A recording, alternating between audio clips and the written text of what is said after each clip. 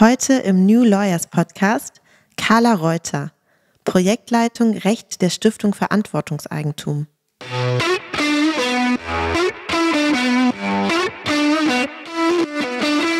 Es ist Lobbyarbeit einfach. Das heißt, wir sprechen mit Abgeordneten, mit Ministerialbeamten, versuchen das Thema bekannter zu machen und Interessierte halt darüber aufzuklären. Und das hat super viele Facetten.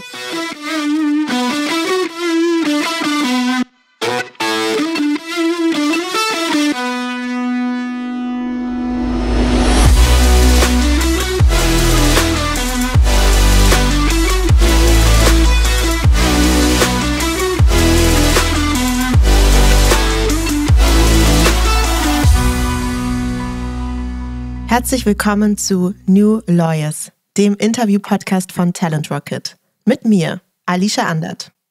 Bevor wir zu meinem heutigen Gast kommen, noch ein Hinweis vorab. Als Juristin oder Jurist kannst du dir auf Talent Rocket ein Profil anlegen, mit dem du dich nicht nur unkompliziert und ohne Anschreiben bei zahlreichen Kanzleien und Unternehmen bewerben kannst, du hast ebenfalls die Möglichkeit, dein anonymisiertes Profil freizugeben, sodass spannende Arbeitgeber dich kontaktieren können. Gehe deinen nächsten Karriereschritt mit Talent Rocket. Und nun zu meinem heutigen Gast. Carla Reuter ist Diplomjuristin und macht einen Master in Ökonomie und Gesellschaftsgestaltung. Zudem ist sie Projektleiterin für den Bereich Recht bei der Stiftung Verantwortungseigentum und außerdem Gründerin und Geschäftsführerin des Kindermodelabels Octopoly. Wie ihr Weg sie zur Stiftung Verantwortungseigentum führte, was es mit dem Verantwortungseigentum eigentlich genau auf sich hat und wie ihr eigenes Unternehmen organisiert ist. Darüber sprechen wir heute. Schön, dass wir miteinander sprechen. Carla Reuter. Hallo, schön, dass ich da sein kann. Für dich habe ich eine schöne Icebreaker-Frage und zwar sollst du ein bisschen in die Zukunft blicken. Ich würde gerne von dir wissen, ähm, worauf du dich am meisten freust, wenn du an dein Leben in 30 Jahren denkst? Wie sieht das aus, wenn du dir das vorstellst? Was ist das Coolste daran? Hm. Ich glaube, das ist eine schwere Frage für mich, weil ich auf jeden Fall bekannt dafür bin, dass ich jetzt nicht alles so weit im Voraus plane. Ähm, ich glaube, länger als fünf Jahre habe ich noch nicht geplant, aber äh, wenn ich so dran denke, ähm, ich glaube, dann freue ich mich am meisten darauf, mehr Zeit zu haben, um Gleitschirmfliegen zu gehen. Das ist tatsächlich so meine große Leidenschaft. Und ja, wenn ich irgendwie mehr Zeit habe und immer in die Natur kann, das stelle ich mir schon ganz schön vor. Wie alt wirst du da sein in 30 Jahren? 60.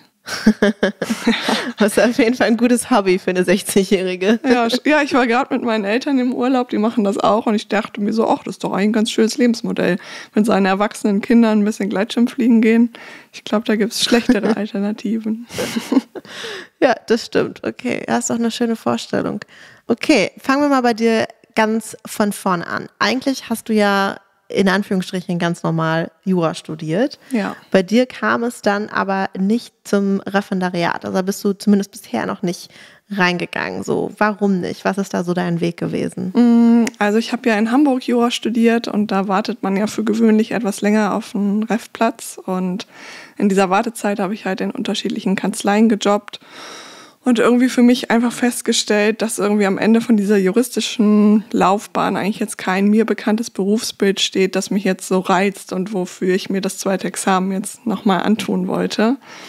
Und ich habe irgendwie, mir hat das juristische Denken im Studium immer super Spaß gemacht. Ich habe es auch gerne gemacht, aber ich hatte trotzdem das Gefühl, dass ich eher ein Handwerkszeug gelernt habe und ja, ich hatte irgendwie noch relativ viele unbeantwortete Fragen, würde ich das mal nennen. Und habe dann gedacht, okay, ich bin eigentlich jung genug und werde noch sehr, sehr viel arbeiten. Warum nicht nochmal studieren? Und weil ich mich immer schon so für wirtschaftliche Zusammenhänge, aber auch Soziologie interessiert habe, habe ich halt nach verschiedenen Studiengängen geschaut und bin dann eben auf diesen besagten Master in Ökonomie und Gesellschaftsgestaltung gestoßen und habe dann gesagt, okay, warum nicht? Ich studiere jetzt einfach nochmal und ja, das bereue ich bis heute auf jeden Fall nicht. Ja, wo stehst du gerade in deinem Master? Ich habe alles abgeschlossen soweit und muss noch die letzten Seiten meiner Masterarbeit vollenden, was aber ehrlich gesagt neben einem Job und einer Unternehmensgründung schon eine kleine Herausforderung ist. Aber es wird kommen. Ja, ja, ja, nee, das, das kann ich mir wirklich vorstellen, dass das sehr, sehr viel ist. Du hast gerade schon so schön gesagt, du hast äh, das juristische Denken eigentlich sehr gemocht, was du gelernt hast. Was hast du jetzt in deinem neuen Master im Bereich Wirtschaft und Philosophie mitgenommen? Was für eine Art zu denken möglicherweise oder was für eine Weltsicht, die du bei Jura vielleicht auch nicht hattest? Hm, ich glaube, die Ebene, die mir im Jurastudium so ein bisschen gefehlt hat, ist die, der ist vielleicht eine politische Ebene oder auch eine kulturgeschichtliche Ebene, nämlich die Frage danach, woraus sind diese Normen eigentlich entstanden, mit denen wir da tagtäglich zu tun haben? Also welche Paradigmen vielleicht in Wirtschaft oder in Politik waren zu der Zeit irgendwie groß, als diese Normen ja ins Gesetz kamen? Und das finde ich halt eine super spannende Frage, die wir halt in diesem Studium auch in Bezug auf Wirtschaft beleuchtet haben, nämlich dass es eigentlich eine menschliche Praxis ist, die sich entwickelt, die bestimmte Praktiken hat, die irgendwo auch Kulturgut vielleicht ist und sich einfach über die Zeit verändern kann. Und ich finde, dass die Erkenntnis, die ich daraus einfach so gezogen habe, war einfach, okay, es sind, äh, ist was Gestaltbares. Wirtschaft ist eine gestaltbare Praxis und genauso ist es Recht eben auch. Und ich habe halt Recht immer als relativ ja, gesetzt, statisch irgendwie erlebt. Man mhm. hat dann irgendwie den Wortlaut oder die Systematik, an der man sich abarbeitet, aber gerade so die Genese oder auch so historische Sachen sind da eigentlich in den Hintergrund gerückt und das finde ich aber eigentlich was super Spannendes und um diese Perspektive bin ich jetzt auf jeden Fall reicher und das hat mich irgendwie auch ins Handeln gebracht, so über Recht nachzudenken. Ich finde das total spannend, weil ich das auch schon öfter jetzt mit Leuten irgendwie mal so diskutiert habe und ich glaube, bevor ich mit dem Podcast gestartet bin mit Talent Rocket und dann so die Möglichkeit hatte, mit so vielen unterschiedlichen Leuten zu sprechen, hatte ich diese Sichtweise gar nicht. Also da war schon so ein Gefühl, dass irgendwie was fehlt, mhm. dass vielleicht das juristische Studium gar nicht alle Seiten genug beleuchtet für die Wichtigkeit, die es dann doch einnimmt in, in der Gesellschaft. Ne? Also ich meine, ja. Regeln werden von Juristen gemacht und ausgelegt. Und dafür finde ich, ist es eigentlich für eine so wichtige Rolle, ist es total krass, dass wir so wenige Perspektiven damit drin haben, weil am Ende das Recht, wie wir es leben, ja wirklich nur ein Code mhm. ist. Ja? Also es soll ja eigentlich nur irgendwie was kodieren, was wir eigentlich wollen und was man gestalten kann. Und diese Sichtweise, dass es gestaltbar ist, genauso wie du jetzt sagst, die hat man, finde ich, im Jurastudium gar nicht. Ja, sehr wenig auf jeden Fall. Also ich denke mal, dass das auch ein Horizont gewesen wäre, der sich im Ref noch mehr eröffnet hätte. Jetzt so, was ja irgendwie auch klar ist, weil man dann den Praxisbezug hat. Aber ich finde jetzt gerade im Grundstudium und in der Examensvorbereitung ist es eben, ja, eben sehr auf das Examen ausgelegt und es bleibt gar nicht so viel Raum, um das jetzt aus anderen wissenschaftlichen Perspektiven auch mal zu beleuchten. Und genauso, ja, auch wie du sagst, so irgendwie diese Gewordenheit von Recht und die Gestaltbarkeit irgendwie so richtig mal anzufassen und daran vielleicht auch ein bisschen rumzuspielen. Es ist nicht so viel Platz mhm. für Kreativität auch. Und ich glaube, das war das, was mir auch gefehlt hat. Ja, kann ich auf jeden Fall sehr gut nachvollziehen. Bei mir ist es dann eher so Design Thinking und Produktinnovation und sowas geworden, aber dieses kreative Element fehlte auf jeden Fall. So, und dann hast du dich jetzt also in dem Master wirklich nochmal mit wirtschaftlichen und philosophischen Fragen auseinandergesetzt und bist irgendwie dazu gekommen, wie eigentlich Unternehmen aufgebaut sind. Genau. Und ganz konkret zu dem Thema Verantwortungseigentum. Da musst du jetzt natürlich mal ein bisschen erklären. ich glaube, viele haben es vielleicht auch noch nie gehört. Und ich schließe mich damit ein vor unserem Vorgespräch, dass ich wirklich eigentlich gar keine Berührungspunkte hatte. Was aber super spannend ist. Erklär mal, wie bist du da hingekommen mhm. und was ist es überhaupt? Also, wie bin ich da hingekommen? Ich habe äh, im besagten Masterstudium eine Hausarbeit über Aktieneigentum geschrieben. Und das war der erste Moment, wo ich mich mal eingängiger mit dem Unternehmen als Eigentumsgegenstand auseinandergesetzt habe und das eben auch aus einer philosophischen und ökonomischen Perspektive. Und das fand ich schon mal super spannend. Also ich finde Eigentum sowieso ein total spannendes Konstrukt. Und dann ist aber das Unternehmen ist ja irgendwie nochmal besonders. Ne? Das ist ja jetzt irgendwie kein weiß nicht, kein Baum, kein Stuhl, kein, nicht so eine Sache im klassischen Sinne.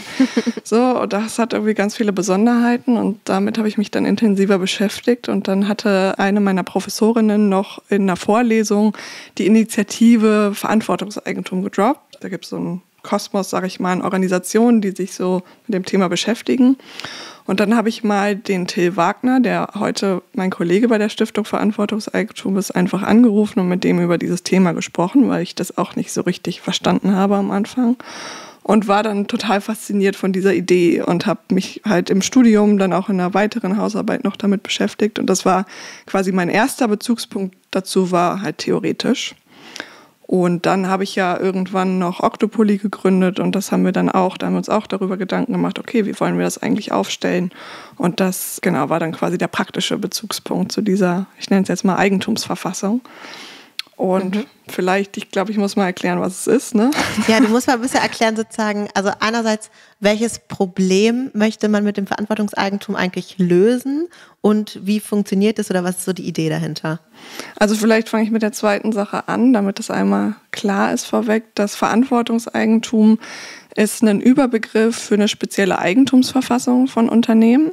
Und die wichtigsten Kernelemente von dieser Eigentumsverfassung sind zum einen die Vermögensbindung, das heißt Gewinne ähm, verbleiben im Unternehmen oder können gespendet werden. Das heißt, es gibt eben diese Thesaurierung von Gewinnen und sie können nicht ohne Gegenleistung einfach entnommen werden von den Eigentümern. Das heißt, man kommt eigentlich dazu, dass man sagt, dass Eigentum ist ein Verantwortungseigentum und damit ein Eigentum an Entscheidungsrechten, aber nicht an Vermögensrechten. Mhm. Ich hoffe, so, das ist klar geworden. Und das Geld, was man aus diesem Unternehmen entnimmt, kann man eben für seine Leistung entnehmen, aber nicht einfach nur für die Tatsache, dass man Eigentümer oder Eigentümerin ist. Und der zweite wichtige Punkt ist, dass die Unternehmerposition oder diese Eigentumsposition eben nicht vererbbar und nicht verkäuflich ist, sondern eben immer auf Menschen übertragen wird, die halt besonders fähig sind, diese Position einnehmen zu können und mit dem Unternehmen verbunden sind. So die Juristen und Juristinnen kennen das eben eigentlich von der Anwaltspartnerschaft. Also es ist auch ähnlich. Das sind, ist nicht verkäuflich, sondern man tritt eben ein und tritt wieder aus. Und das Ganze ist auch überhaupt keine neue Erfindung, sondern das gibt es schon seit über 100 Jahren und zwar in der Form von Stiftungsunternehmen wie zum Beispiel Bosch oder Mahle oder Zeiss oder vielleicht auch bekannt äh, die dänische Brauerei Carlsberg. Mhm. Also genau, es ist einfach jetzt nichts, was wir oder die Initiatoren von dieser äh, Stiftung Verantwortungseigentum sich neu ausgedacht haben, sondern das gibt es schon länger. Aber das Problem ist halt, dass diese Stiftungslösung nicht für alle Unternehmen umsetzbar ist. Und deswegen braucht es mhm. darüber hinaus vielleicht noch was, ja. Ja, was hat es mit dieser Stiftungslösung konkret auf sich? Also warum passt das jetzt nicht für alle, die sagen, ich möchte gerne mein Unternehmen genau so weitergeben mit, dieser, mit dem Verantwortungseigentum als Grundgedanken, keine Gewinne rausziehen und so weiter. Warum geht das nicht bei allen? Also es geht vor allem für größere Unternehmen ist das schon möglich. Man sagt so ab 300 Mitarbeitenden kann man gut eine Stiftungslösung bauen und das ist dann meistens eine sogenannte Doppelstiftungskonstruktion, in der man halt zwei Entitäten hat. Die eine da sind die Gewinnrechte eingelagert, das ist dann zum Beispiel eine gemeinnützige Stiftung und in der anderen Entität liegen die Stimmrechte. So, wenn man jetzt aber sagt, okay, ich brauche zwei rechtliche Entitäten, um dieses Konstrukt überhaupt bauen zu können, dann fallen schon mal kleine Startups auf jeden Fall raus, weil du hast dafür einen personellen Aufwand und du hast auch einfach einen finanziellen Aufwand, den du brauchst in der Rechtsberatung, um das rechtssicher bauen zu können. Und es ist aber nun mal so, dass in Deutschland, ich glaube, fast 95 Prozent der Unternehmen im deutschen also Kleinunternehmen und mittelständische Unternehmen haben weniger als 300 Mitarbeitende. Das heißt, für die ist das alle ja, überhaupt keine Option, das so umsetzen mhm. zu können. Und das ist einfach eine, ja, ist eine praktische Sache, warum diese Stiftungslösung für den Großteil von Unternehmen nicht umsetzbar ist. Und was würdest du sagen, ist das Hauptproblem? Also warum ist es überhaupt etwas Schlechtes, dass man Gewinne aus dem Unternehmen rausziehen kann oder möchte? Mm, ich glaube, dass das, also Unternehmen mit, die Gewinnbezugsrechte haben, sehe ich nicht per se als problematisch an, überhaupt nicht. Und ich glaube, das ist halt ein Missverständnis, dem wir oft begegnen, weil es natürlich Kritik an kurzfristigen Gewinninteressen oder Shareholder-Value-Optimierung gibt, die auch irgendwo berechtigt ist. Aber ich glaube, das größere Problem liegt eigentlich darin, dass die, ja, der gesellschaftsrechtliche Kanon nicht abbildet, wenn es jemand anders machen möchte. Also wir haben nicht diese Vielfalt, die es vielleicht eigentlich braucht, wo man sagen kann, okay, das könnte auch für eine soziale Marktwirtschaft irgendwie stabilisierend sein, wenn wir Unternehmen mit äh, Gewinnbezugsrechten haben und welche ohne. Und die äh, Unternehmerinnen und Unternehmer, die halt ihre Eigentumsverfassung so in Verantwortungseigentum aufstellen wollen, die haben eben einfach diese Möglichkeit nicht. Und ich glaube, das ist das viel größere Problem, als jetzt quasi darauf einzusteigen, was schlecht an Gewinnbezugsrechten ist. Mhm. Weil ich das tatsächlich auch als Unternehmerin selber sagen kann, dass es auch ein absolut legitimes Interesse ist oder sein kann, für Gewinne zu arbeiten. Also ne, wenn man sich da tagtäglich auf gut Deutsch den Allerwertesten aufreißt, was man nun mal tut, wenn man gründet, dann ist es auch total in Ordnung, dass äh, es Menschen gibt, die sagen, okay, ich möchte hier an den Gewinnen partizipieren. Aber genauso ist es eben auch legitim, wenn es Unternehmerinnen und Unternehmer gibt, die sagen so, nee, ich habe Gründe, warum ich das anders machen möchte. Und die Gründe sind halt super vielfältig. Also es ist halt zum einen, dass die Nachfolge darüber halt familienunabhängig geregelt werden kann. Das heißt, Menschen können ins Unternehmen eintreten, wenn sie nicht blutsverwandt sind und auch wenn sie nicht eigentlich die finanziellen Mittel haben, um an dieses Unternehmen kaufen zu können. Und es ist ein super wichtiges Instrument, damit sich exit-orientierte Startups eben aufstellen können, ohne dass sie eben Gefahr laufen, von Investoren aufgekauft zu werden. Und ich glaube, das ist einfach, ja, der wichtige Punkt dabei ist einfach für mich zu sagen, okay, wir brauchen halt einfach diese Vielfalt. Und dann kann jeder in einer liberalen Wirtschaft eben schalten und walten, wie er möchte oder sie. Aber genau, der Bedarf ist einfach da. Ja, wie sieht es denn ganz konkret aus? Also momentan gibt es dafür ja noch keine eigene Rechtsform. Ich glaube, es gibt so, ein, so, eine Art Workaround, den du vielleicht einmal so erklären kannst, wie das aktuell mhm. so ein bisschen gehandhabt wird. Und dann würde mich natürlich auch nochmal interessieren, was für konkrete Bestrebungen gibt es dann aktuell auch politisch? Also der Workaround ist von ein paar Unternehmen gewählt worden, die eben zu klein sind für diese Stiftungslösung. Das habe ich auch mit meiner Mitgründerin mit Octopoly gemacht und das funktioniert so, dass man ein Prozent der Stimmrechte an eine Stiftung gibt die absichert, dass die Grundsätze von Verantwortungseigentum eingehalten werden, also die Trennung von Gewinn- und Stimmrechten und eben die unvererbbar bzw. die eingeschränkte oder nicht gewinnbezogene Verkäuflichkeit. Und das Problem dabei ist aber, dass es es wurde noch nicht getestet vor Gerichten, ob das überhaupt statthalten würde. Also das heißt, es mhm. ist in der Form überhaupt nicht rechtssicher und es ist natürlich eine völlig andere, ja, eine Signalwirkung oder auch eine Rechtssicherheit. Also ich glaube, die Rechtssicherheit nach innen ist eine völlig andere, auch gegenüber Mitarbeitenden, ne, weil Mitarbeitende wissen einfach qua Rechtsform, okay, ich arbeite in einem Unternehmen in Verantwortungseigentum. Ich weiß, dass hier Gewinne zurück ins Unternehmen fließen und eben nicht privat konsumtiv ausgeschüttet werden können. Aber das Gleiche gilt eben auch für Lieferanten oder KundInnen. Ne? Also wenn ich jetzt irgendwie bei einem Unternehmen kaufe, was ich groß, also wie jetzt zum Beispiel Octopoly, ne? wir verkaufen ein hochpreisiges Produkt und da soll irgendwie klar sein, okay, das Geld, was wir für dieses Produkt nehmen, wird auch, also ist notwendig, damit wir es produzieren können. Und es ist eben mhm. nicht, okay, das fließt irgendwie in die Marke oder in private Gewinne. Ja, und mhm. ich glaube, das hat einfach eine, wie gesagt, eine Signalwirkung, aber auch eine Rechtssicherheit, die einfach durch so eine Rechtsform dann geschaffen wird. Ja, ich glaube, mir ist es schon beim Vorgespräch aufgefallen, dass ich da so viele Parallelen immer zu den Legal Tech-Unternehmen mhm. sehe, die ja zu einigen großen Teilen als Inkasso-Unternehmen fungieren. Mhm. Und das ist ja jetzt irgendwie auf den ersten Blick auch nicht so sexy, aber ist sozusagen das, das Sinnvollste für, für bestimmte Unternehmensformen, weil die eben eine andere Handhabe haben, als wenn sie eine, als Kanzlei tätig sind. Mhm. Und eben das, was sie machen wollen, mit eben zum Beispiel Erfolgshonorar, also man zahlt nur im Erfolgsfall für eine Forderungsdurchsetzung und so, das kann man als Kanzlei gar nicht machen. Mittlerweile ein bisschen, aber eben zu dem Zeitpunkt, wo wir auch den Tech-Verband gegründet haben, zum Beispiel ging das gar nicht. Und da habe ich auch gesehen, ach, es ist irgendwie interessant, diese Parallele, dass da eigentlich ein Bedarf schon da ist. Dann findet die Wirtschaft irgendwie einen Workaround, aber man möchte schon gerne die Rechtssicherheit haben, eben auch genau mit den gleichen Gründen, die du auch gerade aufgezählt hast. Man möchte vielleicht auch gegenüber Kundinnen und Kunden zeigen können, hey, das ist ein Modell, was wirklich existiert. Vor allem, wenn es dann um große Forderungen geht, dass sie keine Angst haben müssen, dass auf einmal das ganze Modell irgendwie Total. als, ja. Ja, Gläubigerschutz ist auch ein super wichtiger Punkt dabei. Ja. Also das ist einfach was anderes, als wenn ich weiß, eine Stiftung, diese Stiftung, mit der kann ja sonst was passieren. Ja. Aber wenn ich halt als Gläubiger weiß, okay, ich habe eine Rechtsform, die absichert, dass Gewinne thesauriert werden, dann habe ich ja nochmal eine Neben, also trotz Haftungsbeschränkungen, sage ich mal, ein ganz anderes Backup bezüglich meiner Forderung. Ja. ja, und das wurde ja teilweise jetzt auch erkannt, äh, dieser Bedarf, ja, und da ist ja durchaus einiges los. Also wie sieht es jetzt aus gerade politisch?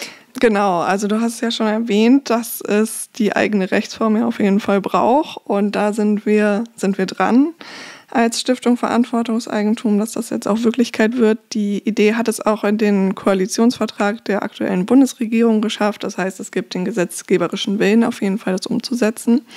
Und da sind wir in Kontakt jetzt mit den federführenden Ministerien und Genau, es geht jetzt einfach darum, den Gesetzentwurf, den es schon gibt. Also es gibt eine unabhängige Professorengruppe, die eben einen Gesetzentwurf schon vor anderthalb Jahren äh, rausgebracht hat im GmbH-Recht, den eben weiterzuentwickeln. Der wird geprüft vom Ministerium und das ist halt genau jetzt gerade der Stand und wir bemühen uns halt, diesen Gesetzgebungsprozess bestmöglich zu begleiten und unser Wissen überall zu teilen, wo es halt gefragt ist. Ist das auch so eure Hauptaufgabe mit der Stiftung Verantwortungseigentum oder geht es noch darüber hinaus? Und was ist deine konkrete Rolle im Bereich Recht?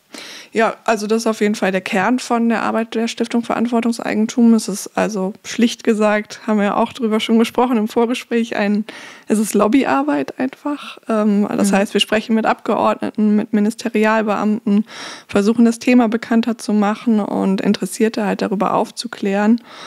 Und äh, genau, das hat super viele Facetten. Ne? Also meine Rollen darin sind vor allem eben, dass ich in Kontakt mit Abgeordneten stehe und immer wieder die Gespräche suche. Jetzt gerade mit Personen, die in den entsprechenden Ausschüssen sitzen oder auch Ministerialbeamten, die halt einfach konkret an dem Thema wirklich im Alltag arbeiten. Und die andere Rolle, die ich übernehme, ist halt eine mehr juristische, dass ich eben die, also es wird und wurde super viel ja zu dem Thema publiziert und da dann halt auch einfach zu filtern und zu schauen, okay, was ist da für berechtigte Kritik aus der Fachliteratur gekommen, die wir aufnehmen müssten und einfach Missbrauchspotenzial irgendwie, dass wir das erkennen, ausfindig machen und dann eben auch mit Praktikerinnen, aber auch mit der Wissenschaft irgendwie ausmerzen können. Und gleichzeitig aber natürlich auch zu gucken, okay, wo werden hier einfach so polemische Nebelkerzen eigentlich geworfen, weil es dann eben auch Interessensgruppen geben, die halt geben, gegen diese Idee lobbyieren. Ähm, und das einfach zu trennen und zu filtern und irgendwie ja sachgerechte Kritik rauszusuchen und darauf zu reagieren. Und dann ist natürlich noch auch meine Rolle, die Idee immer ein bisschen bekannter zu machen. Und dafür sitze ich da manchmal auf so Podiumsdiskussionen oder. Oder ein Podcast. Genau, oder eben ein Podcast. also ich habe so das Gefühl bei deiner Rolle, dass das etwas ist, was du eigentlich nur deshalb ausfüllen kannst, weil du sowohl juristisch gelernt hast zu arbeiten, als auch diesen wissenschaftlichen und philosophischen Kontext, der dich ja überhaupt erst zu diesem Thema auch hingebracht hat. Mhm. Das finde ich bei dir echt irgendwie ganz ganz spannend und ich glaube, dass es bestimmt auch viele Leute gibt, die das total inspirierend finden, dass es diese Art von Arbeit gibt und dass das ja, also wahnsinnig interessant ist und nochmal ein bisschen eine andere Art, auch juristisch, aber eben eine andere Art zu arbeiten. Mhm. Ihr habt ja jetzt auch vor kurzem eine Konferenz abgehalten, äh, die, glaube ich, recht groß war. Wie war das? Was habt ihr da so gemacht? Erzähl mal. Genau, das war die große, sie hieß VE22, also Verantwortungseigentum 22 und das war halt eine Konferenz nicht nur von der Stiftung Verantwortungseigentum, sondern von mehreren Organisationen, ich sag mal aus diesem Ökosystem rund um das Thema. Und da waren vor Ort über 500 Teilnehmende. Und das Coole ist auch, dass da also das auch jetzt ein internationales Thema geworden ist. Das heißt, wir haben das auch online gestreamt und da waren aus 30 verschiedenen Ländern haben Menschen teilgenommen und halt insbesondere Vorträge, aber auch Workshops sich zu diesem Thema angehört und die Vorträge waren super spannend. Also es haben Menschen wie Lars Feld gesprochen, Maya Göpel, Rutger Bregmann, falls er dir was sagt und für mich halt am spannendsten Katharina Pistor, die ja zum Code des Kapitals geschrieben hat und genau in diesem Vortrag eben über die Kombination vom Code des Kapitals und Unternehmenseigentum und gesellschaftsrechtlichen Formen gesprochen hat und wie eben auch da das Recht bestimmte Realitäten schafft. Und das war für mich natürlich super spannend und es gab eben viele Workshops zu sehr unterschiedlichen Themen und ein Workshop war halt eben auch zum Stand der neuen Rechtsform wo ich mit drin saß, unter anderem auch mit dem Abteilungsleiter aus dem BMJV, der dann auch mit auf dem Podium saß und alle Leute konnten da halt einfach Fragen stellen zu diesem Gesetzgebungsprozess und aber auch mhm. Unternehmerinnen und Unternehmer saßen im Publikum, die halt auch einfach ihre Meinung da teilen konnten und ich fand, das war einfach so ein mega schönes Beispiel dafür, dass Gesetzgebung halt auch ein super spannender und transparenter Prozess sein kann, der irgendwie im Austausch mit der Praxis stattfindet. Mhm. Und das, also das war einfach, ja, war für mich ein super schönes Erlebnis und dass es halt einfach so lebendig ist. Und sonst war die Konferenz aber auf jeden Fall für alle, es war in erster Linie halt ein Netzwerktreffen und es war für mich halt auch total schön, einfach so viele Unternehmerinnen und Unternehmer zu treffen, die eben auch ihr Unternehmen in Verantwortungseigentum aufgestellt haben. Weil man da ja manchmal so im Alltag so verschwindet das so ein bisschen und man es fällt dann vielleicht auch manchmal schwer, sich darauf zu besinnen, okay, was bedeutet das eigentlich? Und irgendwie so das, mhm. das Schöne und Coole an dieser Idee nochmal wahrzunehmen mit all den Leuten, das war echt ein schönes Erlebnis. Und für alle, die es interessiert, da gibt es auch auf YouTube, kann man das Programm auch nochmal nachgucken. Also wer Lust hat, es lohnt sich auf jeden Fall. Okay.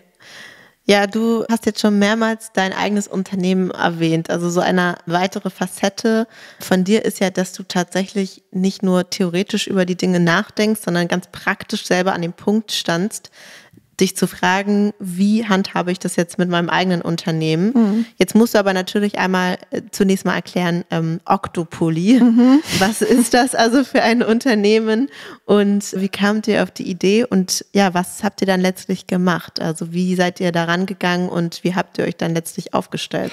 Ja, also Octopoly ist an den Start gegangen, um mitwachsende Kindermode aus Reststoffen zu produzieren.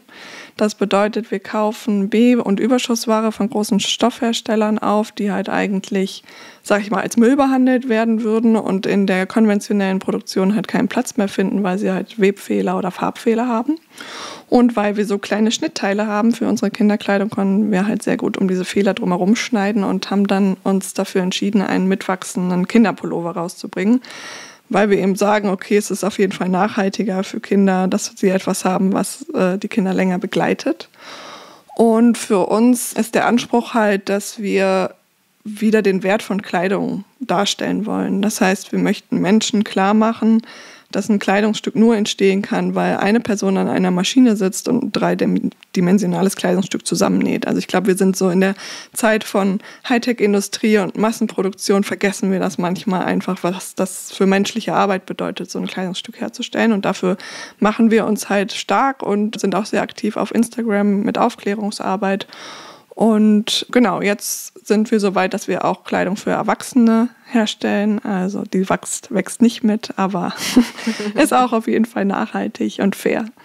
Also was ich mir immer noch nicht vorstellen kann, ist, wie das eigentlich ganz genau aussieht, dass eine Kindermode mitwächst. Also wie funktioniert das eigentlich? Ja, das ist die Frage, die am häufigsten gestellt wird. Und es ist super simpel. Und auch wir haben das Rad nicht neu erfunden, sondern einfach nur Schnitte genutzt, die früher äh, gang und gäbe waren, wenn man Kinderkleidung genäht hat, und zwar den sogenannten Racklan-Schnitt. Das bedeutet, dass man keine Naht hat, die auf der Schulter aufsitzt, sondern die Naht verläuft vom Schlüsselbein, also vom Hals, bis unter die Achsel. Das heißt, man hat schon mal an der Schulter einfach Platz zum Wachsen. Sonst ist der Schnitt halt am Ärmel so, dass er umgekrempelt werden kann und innen wird dann halt bei allen Pullis individuell so ein Innenfutter sichtbar und in der Länge sind sie ein bisschen oversized. Das heißt, es ist ein super simpler Schnitt, aber dadurch ist es eben möglich, dass diese Pullover über vier Größen getragen werden können. Und wenn man sich das überlegt bei einem Kind, was eigentlich alle drei bis vier Monate aus einer Klamotte rauswächst, ist das schon ordentlich Material und Geld, was man sparen kann dieses Kinderwachstum ist wirklich wahnsinnig ja. unnachhaltig. Ja. Wie das könnt müssen wir unterbinden. ja. Oder sagen wir besser, die Klamotten für Kinder sind extrem unnachhaltig. ja, na gut. Und wie habt ihr es jetzt gehandhabt bei Octopoly? Hm. Ja, wir haben Octopoly auch mit diesem Legal Hack, den ich eben beschrieben habe, gegründet. Das heißt, wir haben ein Prozent unserer Stimmrechte an die Purpose Stiftung gegeben, die dann, wie gesagt, ein Vetorecht hat, wenn wir auf die Idee kommen sollten, uns Gewinne auszuschütten, für die wir eigentlich keine Gegenleistung geleistet haben oder eben das Unternehmen gewinnbringend verkaufen wollen. Ähm, genau, und wir haben uns eben dafür entschieden, weil wir ähm, gesagt haben, okay, wir wollen Octopoly als langfristiges Projekt denken und wir verkaufen halt ein höherpreisiges Produkt und wir wollen eben das, was ich eben auch schon erwähnt hatte, dass Leute eben ja, sicher sein können, dass sie eben das Geld für das Produkt bezahlen und nicht, weil wir uns die, die Taschen, sag ich mal, damit voll machen. Hm, also nicht für die Marge, sondern wirklich, weil es genau. so teuer ist. Ja, und natürlich müssen wir auch Umsatz machen, das ist ja klar, ne? aber es ist schon nochmal eine andere Motivationslage dann dahinter. Die Anreize verschieben sich einfach ein bisschen. Und das ist halt eben so eine, ich sag's mal, irgendwie mhm. so eine Glaubwürdigkeit, dass man bestimmte Versprechen einhält, die man halt sonst eher von Familienunternehmen in der x-ten Generation kennt. Aber wir wollten das eben als Startup auch gleich haben. Ähm, und deswegen haben wir dann in dieser Form eben gegründet. Ja, cool. Also ich habe ja eben gerade schon mal gesagt, dass ich total spannend finde, wie du durch deine unterschiedlichsten ja, Fachrichtungen letztlich und eben auch Praxis durch das Unternehmen irgendwie unterschiedliche Blickwinkel auf ein Thema bekommen hast. Wie siehst du das? Also glaubst du, das, das hilft dir? Siehst du das auch so? Und ja, hättest du es dir vielleicht irgendwie überhaupt so vorgestellt, dass dein Weg so aussehen kann? Also letzteres auf gar keinen Fall, aber ich bin irgendwie sehr froh, wie alles gekommen ist, auch wenn ich mich manchmal frage, wie ich das alles schaffe, aber es funktioniert. nee, und ich glaube, dass es super hilfreich ist, aber es entspricht eben auch, sag ich mal, mir als Charakter, würde ich jetzt sagen, weil ich schon immer sehr gerne unterschiedliche Blickwinkel auf eine Sache habe und gerne, ja, irgendwie, sag ich, sag ich mal, so multiperspektivisch mir die Sachen angucke. Und das ist natürlich total hilfreich, dass ich dann den juristischen Background habe, dann diesen ökonomisch-philosophischen und aber auch die praktische Erfahrung, weil damit kann ich eben alles, was ich in der Praxis so lerne, kann ich direkt in diesen Gesetzgebungsprozessen mhm. mit einspeisen, was ja auch schon einfach krass ist. Aber viel von dem Wissen, was ich praktisch habe, habe ich auch aus Gesprächen mit anderen Unternehmerinnen und Unternehmern. Und umgekehrt ist es natürlich auch so, dass es mir, glaube ich, dadurch im Lobbyprozess, sag ich mal, habe ich einfach eine andere Glaubwürdigkeit. Also ich habe ich weiß halt, sag ich mhm. mal, wovon ich spreche, auch in der Praxis. Ich lebe diese Idee als Unternehmerin und würde jetzt niemals jemandem aufoktroyieren, zu sagen, das ist die richtige Rechtsform für dich und dein Unternehmen, sondern ich kann halt sagen, das ist die richtige Rechtsform für mich und mein Unternehmen, aber äh, und deswegen stehe ich dafür ein, aber deswegen muss sie nicht für alle das Richtige sein. Ich glaube, das ist super wichtig, einfach in der politischen Arbeit da so ein Standing zu haben. Ja, kann ich mir vorstellen, dass das auf jeden Fall deine Position sehr authentisch macht. Und was sind jetzt so die nächsten Schritte? Also für das Verantwortungseigentum, für Octopoly und natürlich auch für dich persönlich? Also fürs Verantwortungseigentum ist ja auf jeden Fall die neue Rechtsform. Also sie steht im Koalitionsvertrag und sie wird diese Legislatur auf jeden Fall kommen und da setzen wir uns auch alle fleißig für ein. Und für Octopoly ist der Zeithorizont ein bisschen kurzfristiger, weil da geht jetzt erstmal die Hochsaison los mit Herbst- und Wintergeschäft. Wir verkaufen ja hauptsächlich Pullover. Das heißt, jetzt ist auf jeden Fall viel, viel zu tun. Und ich glaube für mich persönlich, ich bin da gar nicht so, dass ich so meine nächsten Karriereschritte oder so großartig plane. Ich glaube, für mich ist einfach wichtig, dass ich es schaffe, immer mit Freude bei der Sache zu bleiben und immer wieder so dankbar sein zu können, dass ich so viele coole Sachen erfahre. Und darin muss ich mich einfach immer täglich wieder üben. Das sind sehr schöne Schlussworte. Und deinen Plan für in 30 Jahren hast du ja auch schon. Von daher kannst du dich jetzt auch ein bisschen entspannt zurücklehnen. das stimmt. Ich danke dir für dieses super nette Gespräch und ich wünsche euch natürlich auch ganz viel Erfolg. Schön, dass du da warst. Vielen Dank, Alicia. Dir auch alles Gute. Das war Carla Reuter. Wenn dir der Podcast gefällt, dann hinterlass eine Bewertung auf Spotify oder Apple Podcasts. Es dauert nur zwei Sekunden und hilft enorm, um noch mehr Juristinnen und Juristen auf ihn aufmerksam zu machen. Du möchtest bestimmte Gäste hören oder möchtest Feedback geben? Dann melde dich gerne oder folgt dem Link, den ich euch in den Shownotes verlinkt habe.